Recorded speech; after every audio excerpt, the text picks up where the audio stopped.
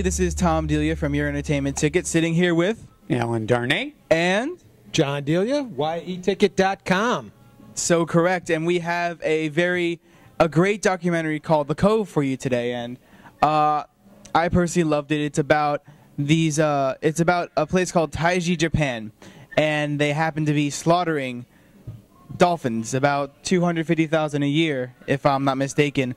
And um, they go and they go to expose this to everybody, and they do a really great job. And I really loved it. Um, how about uh, you, Alan? Well, uh, I thought it was really an interesting and captivating documentary. Um, this this hunt for dolphins happens every September and goes on for months and months and months, where they herd these dolphins into this cove and literally kill them. Um, first, they take out certain dolphins that they like that, that look good, and they send them to like aquariums around the world.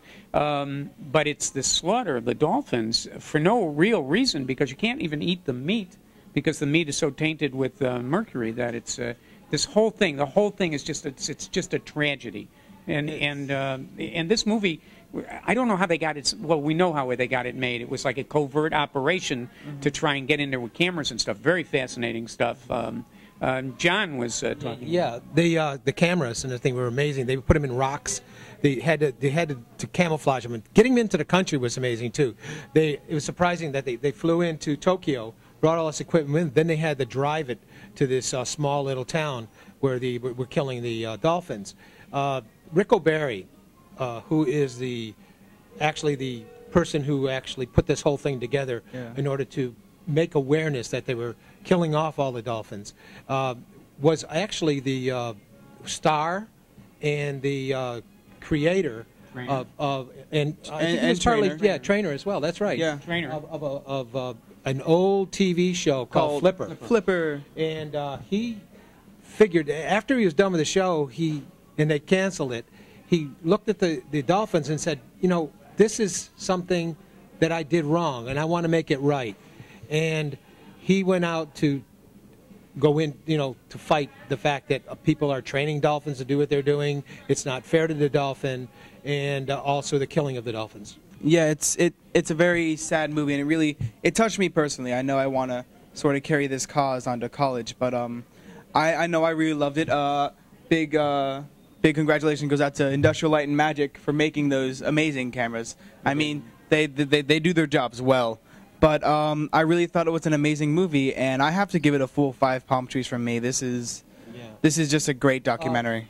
I'd like to give it full uh, five palm trees also because it definitely deserves it. But I would also like to, to, to point out that it is a, a gut wrenching movie. When you see this, this is all real. You know, this is a documentary, and when you see a lot of stuff, you're going to probably, you know, shy away or pull away from it.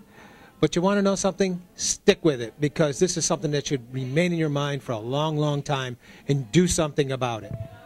Yeah, the problem with the, the, the film is that it, it's not going to be seen enough, and it really should be. It's um, I think Ric O'Barry's uh, um, cleared his name as far as I'm concerned for any any misdoing he might have done before, because nobody could have anticipated uh, how this thing was going to explode uh, when he did that. So I, I- I think what he's done here is, is really remarkable. I think what these filmmakers has done has been really is really remarkable. It's it's a brilliant film. It's up high on my list, and and I, I also give it five uh, palm trees. It is definitely an excellent movie.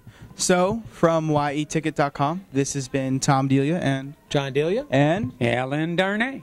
and I, I I don't remember Al's call sign. What is it? Uh, every day. And the day after? Yeah. All right. That's great. See you soon, guys. Ciao, babies.